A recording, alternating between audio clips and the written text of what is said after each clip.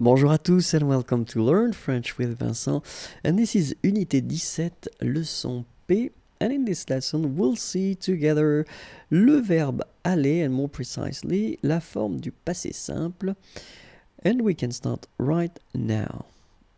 So let's see le verbe aller au passé simple. J'allais, tu allas, il alla, elle alla, nous allâmes, vous allâtes, ils allèrent, elles allèrent. Okay, so let's see that one more time. J'allais, tu allas, remember final S is not pronounced. Il alla, elle alla. Okay, so you get the two forms here. You are pronouncing them the same way. You put this S for tu, but you don't pronounce it. Okay? Then nous allâmes. Okay, so remember that you should make this little link between the two. Nous allâmes. Okay. Vous. Same thing. La liaison. So final S here and final S here is not pronounced.